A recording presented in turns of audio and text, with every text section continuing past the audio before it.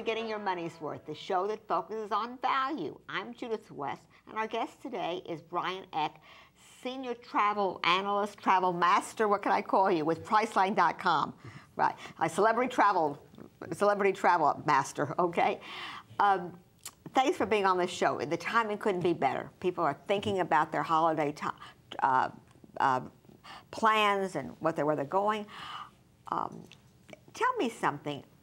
I, do, do people use private travel agents anymore, or is booking your tickets online standard operating procedure?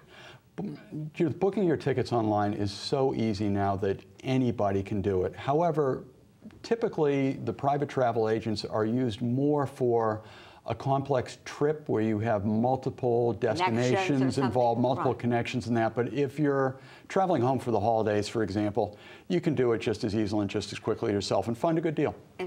well, that's what I want to ask you about. Finding, that's what we talk about, finding a good deal. Um, I've read that airline, this is a, this is a bad year for airline prices. They've gone up. Mm -hmm. uh, we know the capacity has gone down. Even when I take a flight on an off day, I am surprised that the plane is full, or even three weeks ahead of time, I, I have to take a middle seat. Um, so how? Tell me something. How can you still get? Can, is it too late to get a good deal for Thanksgiving? It's not too late, but it's getting tight as far as availability and prices. This is the second most expensive year in the last eight years for holiday airfares for both Thanksgiving and for Christmas.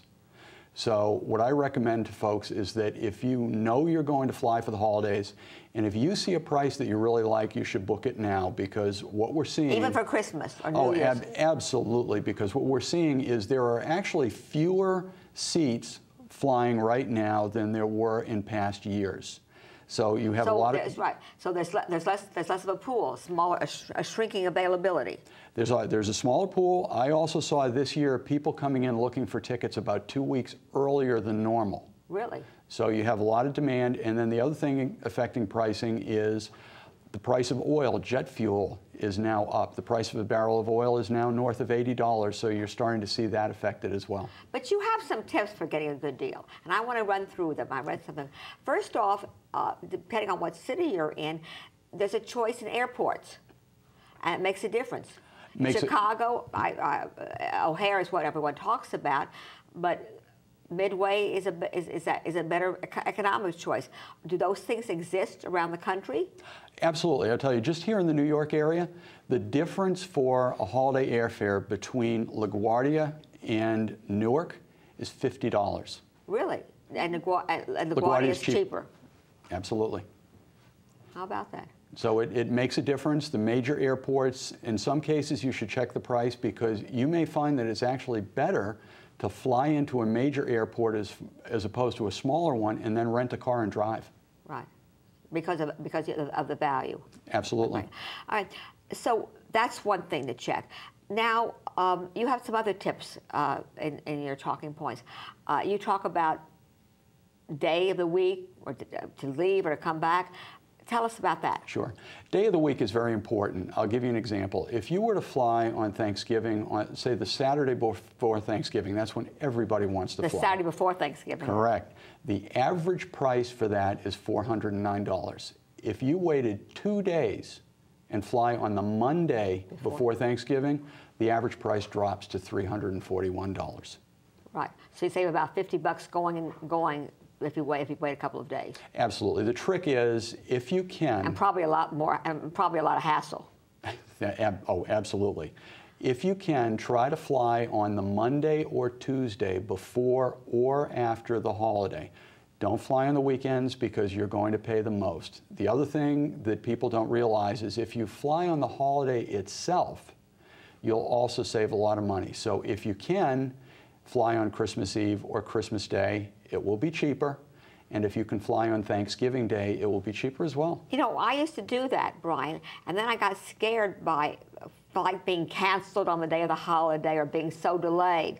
But I used to like a 7 a.m. flight out on, you know, on, on a holiday because, because of that reason. Also, there was less hassle, less people. For me, as well as the money, there were less. There was less crowds.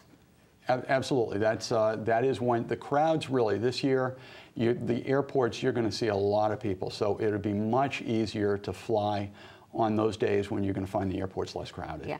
And if you can, baggage? baggage. Oh, baggage. What a problem baggage is these days. What, what's going on right now is the airlines are charging fees for extra bags and also for overweight bags. And those fees can start anywhere from $25 and up. So what I suggest that you do is, first of all, don't bring presents. If, you, if you're going for the holiday, send the presents on ahead. That's a good idea. Right. UPS? Ab absolutely, because also you arrive at the airport with a bag, with a with a parcel that's already wrapped, security is going to open it up. Right. And what you see as a present, the airlines may see as extra baggage. Right. So you can mail your beautifully gift wrapped packages, put them in a carton, and send them UPS, and you don't even and you save money and you don't have the hassle.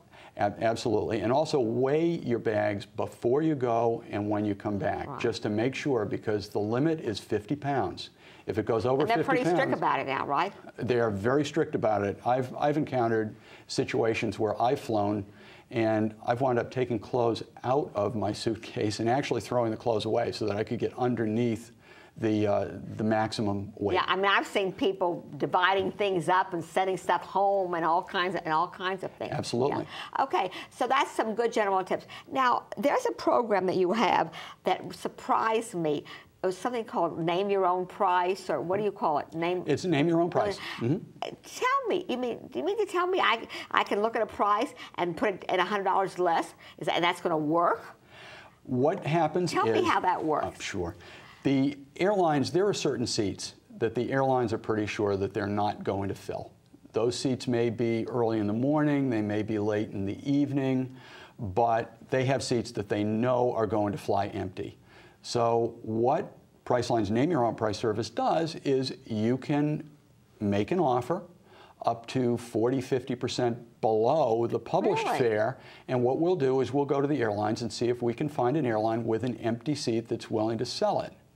And what's interesting is even around the holidays, I did a check for the New York market before, before coming here today, and I found that people were actually getting discounts for Thanksgiving around 37% below the published prices and around 27% for Christmas below really? the published prices. So and, the great and, deals. And, and, but they're flying off times?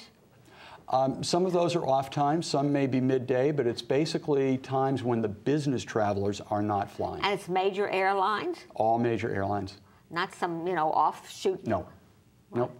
Really? And so it's and it's name your own price. You name your price. So what's the average price? I mean, should, what kind of a discount should you reasonably take?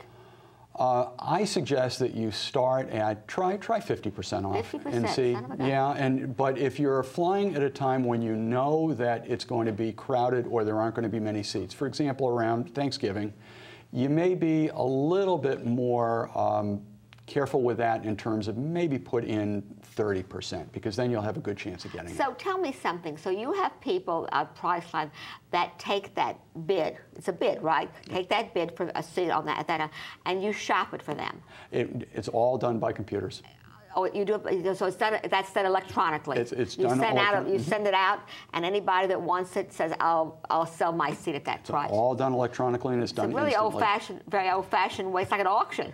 It, it it's a very old-fashioned way mm-hmm. of doing business, isn't it? Yeah, but it's a but and it's you a guys take a, you guys have a commission on that. Yes, we do. Yeah, mm-hmm. but it's a really pretty old-fashioned way of doing business. It's kind of interesting. Well, it, it takes the internet and it really turns it into a one-on-one shopping experience where a consumer makes an offer and then the airlines can decide whether or not they want to accept it. And then how about how long does it take after you make the offer? Seconds. Second. And tell me something can you trust it when you, you get a confirmation? Or can you trust it? They're not, gonna, gonna grab the seat back from you when you get there? No, you get a confirmation number, you get your flight times, you'll get your airline, you'll get everything you need. You get a boarding pass? Absolutely. Sometimes you can't get a boarding pass when you buy online. Well, online, typically you take your confirmation number and that will do it. And, and that makes you, and that makes your mm -hmm. boarding. But and all these, is, this is this is as safe as talking to somebody and getting the, the old-fashioned way. It absolutely is. It's amazing. How much of the airline business do you guys do in this country? It, uh, it really depends upon the time of year. Around the holidays, it's a little bit less because the airlines don't need as much help selling seats. But during the slower periods, for example, once we get into the winter, when it, the airline business is a little bit softer, you may see a lot more tickets being made what, available. what, when is it least uh, expensive?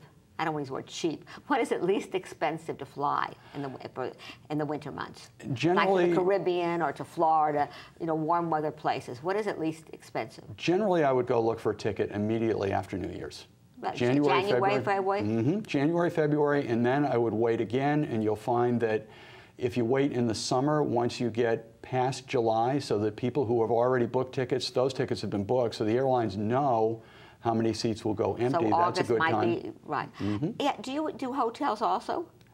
Um, hotels generally, they the discounts you can get through hotels on Priceline using Name Your Own Price are actually even deeper. Deeper. Deeper. Those Oh, can go up to 60%, You're and even in major markets like New York City. Mhm. So, can a person take uh, live in New York uh, or Chicago or you know or Boston, any cold weather place, and decide they want to go to Miami Beach, Mm-hmm. And and bid on that uh, a hotel? Absolutely, and you can bid on any star level hotel from a. Can it be a five star? It can be a five star if there are five stars in that in that market. So it could be it could be any of these name brands like a Four Seasons or Ritz Carlton, any of those kinds. Well, you won't know which one you're going to get, but we have Oh. major brands that are participating with us. But what you can do, for example, you would say, These are the dates that I want. I want a four star hotel. This is the neighborhood that I want, and this is the price that I want to pay. And it works the same as our airline Really? service. We will then take that and we'll go see if there's a hotel that's willing to sell at that discount. And if so, we'll book it for you on the spot, and you'll know in seconds. That's an amazing service. It's, it's really great. And by the way, it works for rental cars too. Ever, uh, so a person, you can basically plan your whole vacation from air to hotel to renting a car with name your own price. You absolutely can. I think it's a, I think it's an amazing about. I Well, think it's thank a, you. how- Is it how long have you been in business? Name your price. Uh, 12 years. right, and it's grown in popularity. It absolutely is. And the savings we have now, we've had, we've saved people billions of dollars Oh, I'm on their sure. travel. Right, all right. And and this is under your bailiwick. Yes, yes, it is. I actually run Price Breakers, which is Priceline's last minute deal service. So for the Is that real, different from name your price? Uh, it's a little bit different. Tell we don't have a minute. What's price breakers? I thought we I thought we found the best yet. What's price breakers? Uh, Price Breakers is basically I take all of the deals that the hotels and airlines are willing to sell at the very last minute, and then What's I the last minute? 24 hours? Oh, can be a week out, whatever. Oh, typically. be even. So it could be okay. But it, but it's typically a week or closer are the deals that uh, that I have. and then and then you lowball. And then basically I'll show you the price, and you'll see what the price is. You'll see what you're getting, and uh, and you can book it on the spot. And uh, there are some fantastic and deals. there's, In there. I mean, discounts as much as 50, 60 percent. As much as 50, 60 percent. But you have to be ready to go. But can you trust it once you do it? Yes, you don't, absolutely you, don't, you don't go down there and they say, oh, so this price, you can't have this. Room. We're putting you in the basement next to the air conditioning system. No, you get you get quality merchandise when you, do. that. Okay. Well, thanks very much for being so on the show. You gave us Thank some you. really good, good, some good tips. Appreciate you having me. I'm Judith West. You're watching Getting Your Money's Worth, and we certainly got our money's worth today from Brian Ek, Travel Master with Priceline, Name Your Price, and Price Breakers. Thanks for being on the show, and thank you for watching. Música